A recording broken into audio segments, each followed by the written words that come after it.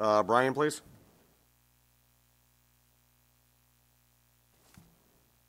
Afternoon, Brian. How are you? How's it going?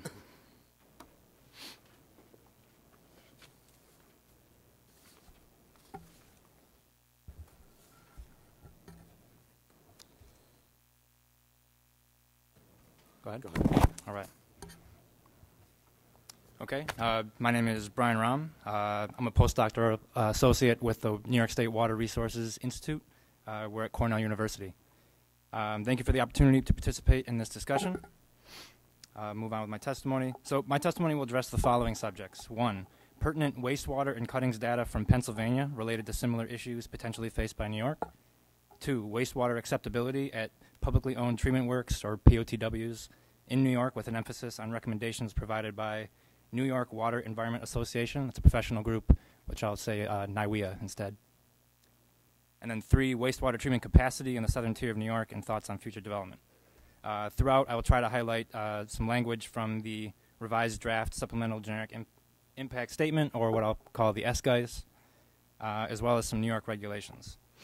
Um, so, point number one pertinent wastewater and cuttings data from Pennsylvania related to similar issues potentially faced by New York.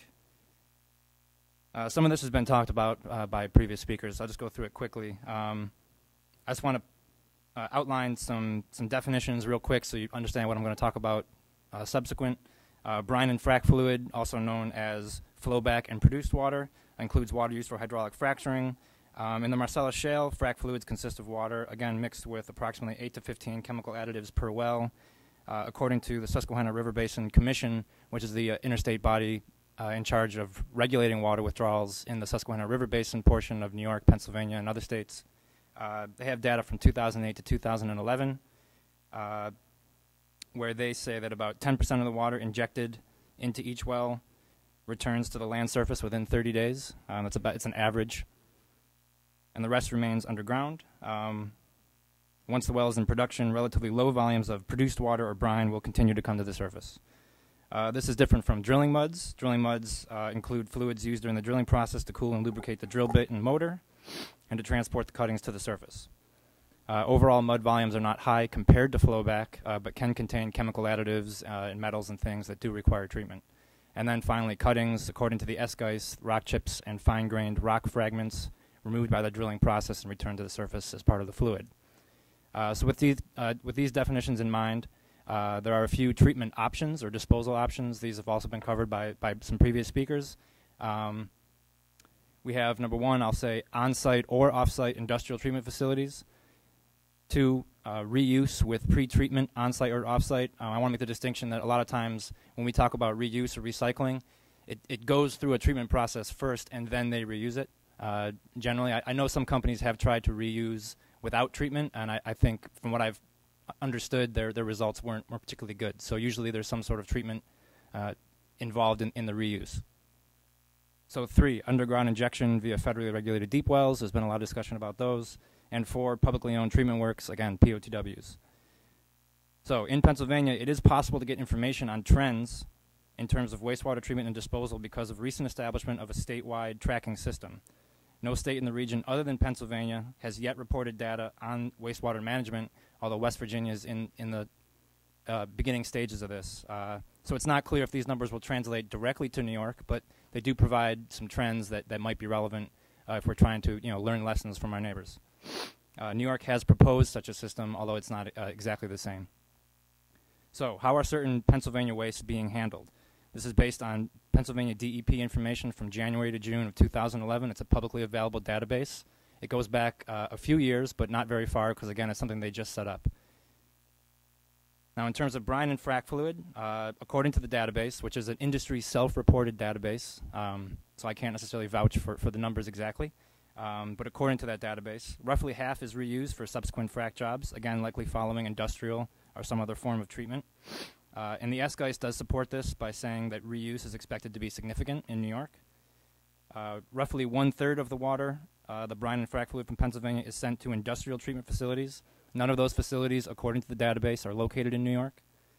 Uh, about 5% uh, of, the, of the wastewater does go to deep injection wells, mostly in Ohio, but also in other states like West Virginia. less than 1%, according to the database, is going to POTWs, all of which are located in Pennsylvania. Uh, again, we've heard that Pensil- the Pennsylvania DEP has asked operators to voluntarily stop going to POTWs. There's some evidence in the database that this has been occurring over the last couple of years. I think this is probably just one of, of several reasons why that trend is, is happening. As far as drilling muds and other liquid wastes, uh, in terms of where they're being disposed of, it's roughly split between uh, what they're calling reuse and industrial treatment facilities. And then again, you have about 1 to 2% each for POTWs and landfills in terms of the drilling muds. Solid waste, so the cuttings are almost uh, exclusively going to landfills. Most of those landfills are in Pennsylvania, it's about 60%, but there's a significant amount of cuttings also coming to New York. Again, according to the database, that number's at about 30% of cuttings. So it's worth mentioning that uh, treatment of these wastewaters, even at sophisticated industrial facilities, usually leads to uh, some sort of byproduct, a solid or, or concentrated liquid waste that usually needs to be handled either by landfill or, again, uh, some sort of deep well injection or other form of treatment. New, new treatment technologies are being developed by a growing water service industry in Pennsylvania, although many are not yet in wide use. I think we heard about some crystallization technologies earlier. Uh, so, okay, so that's point one. Point number two wastewater acceptability at POTWs in New York. With, and I'm going to be talking about some recommendations that were provided uh, by NYWEA, which is a group that I had a chance to work with uh, in, in making some of these recommendations, as well as with other issues uh, related to, to Marcellus Shale. So I want to briefly give an engineer's perspective on this. Um, some of these recommendations are a little technical. Apologize for that.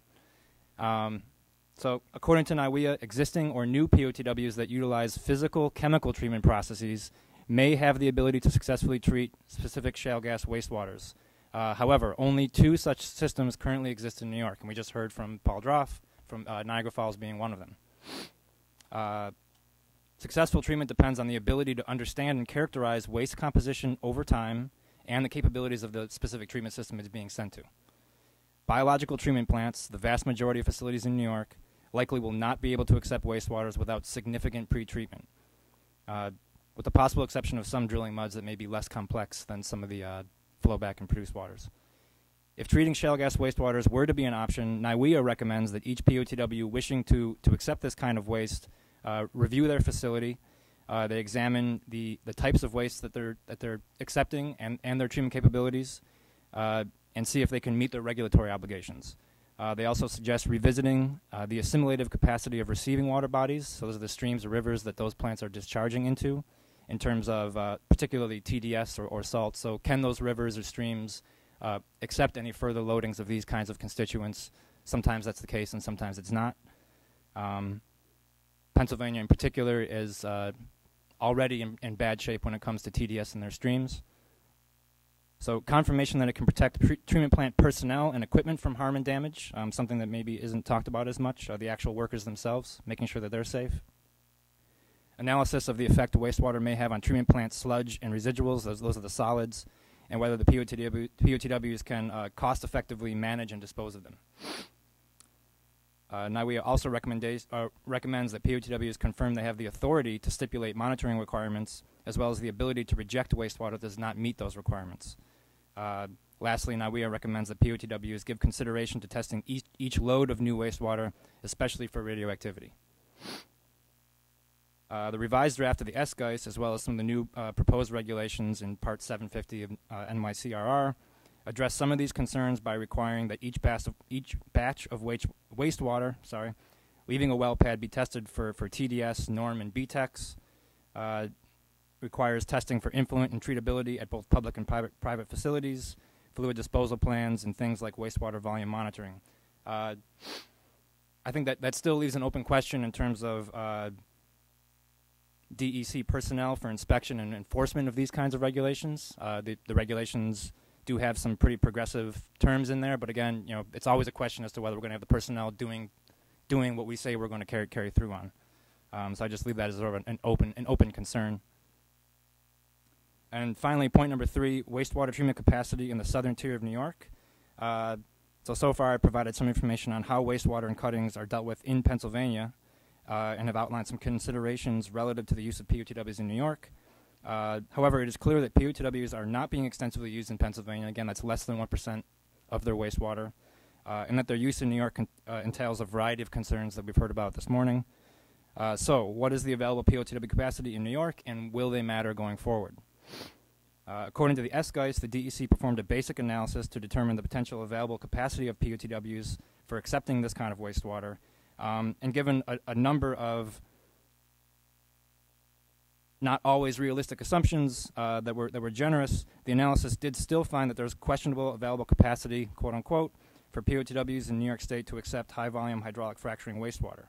So even with uh, uh, with a scenario that, that assumed that a lot of this would be would be able to go forward, um, they still found that, that capacity was lacking. At WRI, we've also performed a, a similar analysis uh, in the Susquehanna River Basin specifically, so more in the southern tier uh, than the whole state. Again, assuming the facilities have the ability and inclination to do so, which uh, very many will not.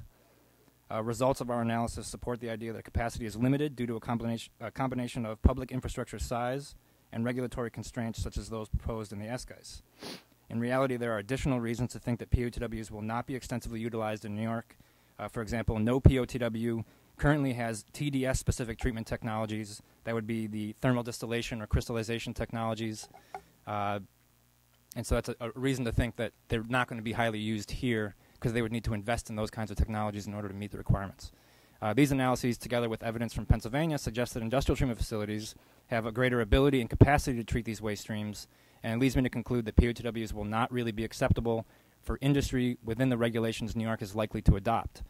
Encouraging establishment of purpose-built industrial treatment facilities, either on-site or off-site, has several key advantages over POTWs. The technology is more appropriate. Uh, they have greater capacity, in terms of oversight, assuring compliance of what may be a smaller number of industrial facilities compared to a larger number of POTWs is perhaps more manageable for DEC staff. Uh, and then uh, something uh, that's sort of equally important here, planning and finance. Uh, from a planning perspective, private facilities may be built at a pace and scale concurrent with the development of the shale uh, and may have more flexibility than public entities in choosing business models that accommodate the volatile nature of extractive development we talk about 30 years um, of development, but there's really no way to predict with any certainty exactly where the drilling is going to happen, exactly at what times, what the price of gas will be over that time. It would be nice to know, but, but we really don't. Um, so, just offer the following conclusions. One, uh, due to a combination of evolving regulation, expanded industrial treatment infrastructure, and advancements in treatment technologies, a large majority of shale gas wastewater in Pennsylvania is being handled by private industrial treatment facilities with an increasing model of reuse. Solid cuttings from Pennsylvania development are almost exclusively sent to landfills, both in Pennsylvania and New York. Treatment of most, uh, so conclusion number two, treatment of most shale gas wastewaters is not appropriate at POTW, POTWs utilizing biological processes, which is almost all of them in New York. That being said, these wastewaters are treatable, but only under carefully controlled circumstances using appropriate technologies with well trained professionals and adequate regulatory personnel. It's a lot of caveats. So this likely means sophisticated physical chemical processes, perhaps like the ones in, Ni in Niagara Falls, with some form of thermal distillation technology or its equivalent. Three, POTW treatment capacity in New York is limited, even under the most permissive policy scenarios. Given the relatively stringent regulations New York is likely to adopt, use of POTWs would not represent a viable treatment disposal option for the shale gas industry private facilities purposefully designed and located within areas of significant shale gas development could treat wastewater without putting public facilities and taxpayers at risk. Lastly, I would like to offer a general comment in support of gathering as much data on these important issues as possible in the event that development moves forward in New York.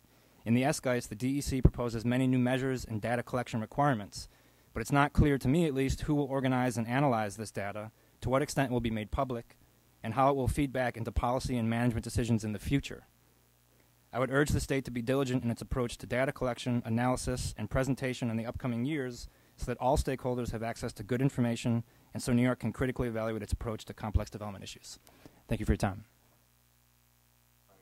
Is it, is it, uh, is it your concern then with regards to the public uh, facilities, and it was testified to before that that if they're not uh, if, if they're not geared to accept this type of uh, uh, fluid, then it could jeopardize what they were initially uh, set out to do in the first place with just regular uh, treatment of, of, of, the local community's water? I, I think that's true. A, a, biological system can be sensitive uh, to un- unexpected impacts coming coming in, in the influent, uh, and that if they're not designed to treat this kind of wastewater, a biological system is not going to handle that particularly well. Okay. You, you wouldn't want to kill off your biological system; then it's, it's going to No. stop treating the waste Right. that it's meant to meant to do. And, and, you're, and that and that would exclude. Uh, I think there's what two in two in the area. You got Niagara Falls, and I think there's also one in the uh, North Ton- Tonawanda is the North other one. Tonawanda. So they're both in the same No other facilities. Buffalo area. Not not to my knowledge. No. Um, and what's your take on the uh, uh, with the the industry talking about recycling, uh, utilizing that water, which is also probably a technique for now. At some point, you got to it's going to be treated at, to some capacity, but uh, uh, that would also take a burden off as far as having to treat the water as well, right? To some extent, It, would- it would do what? Sorry. take the burden off of treating all that water to some extent because you keep recycling the same water over and over again. I mean, it. You are only getting, again, as we said in the last talk, like only 10 to 20 percent of that water back. Um, so you do still need quite a bit of fresh water. Um, that that depends on the fact that you're drilling as many wells in the future as you were in the past, so that, that those percentages stay as they are. Um, I, I think that you are seeing, in, especially in northern Pennsylvania, these new industrial treatment facilities popping up, um, and, and some of them have quite good technology, and that, that is taking some of the burden off. But uh, you, you can't relieve the entire burden because you're always going to need some some makeup water. And you're saying that for the water itself, you're saying that that would be the way to go, as your in your opinion. Of the options that are currently available, that that seems to be uh, one of the best ones I, I can see. You're, you're you're you're basically saying that the, the investment in that facility is a private one. It's you know if if it doesn't go well, it's also a private risk. The industry is assuming the risk as opposed to a public entity. Um, I, I would hate to see taxpayers put in money at, at a public facility, even to, to upgrade it, and then to not have it either perform as it, as it was expected, or for 10 years from now, for the industry to move on to whatever becomes, you know, the next big play, maybe up in Canada, and and suddenly the idea that we're going to have drilling here for 30 or 50 years doesn't actually pan out because it's, it's hard to say. Um, there's a risk involved with that, and it, it's a it's different to ask, you know, a, a private risk versus a public risk are, are two different things. Right, I got you. I appreciate it. Then I'm going to uh, pass it over to Senator Gallivan. So, thank you. Sure. Thank you.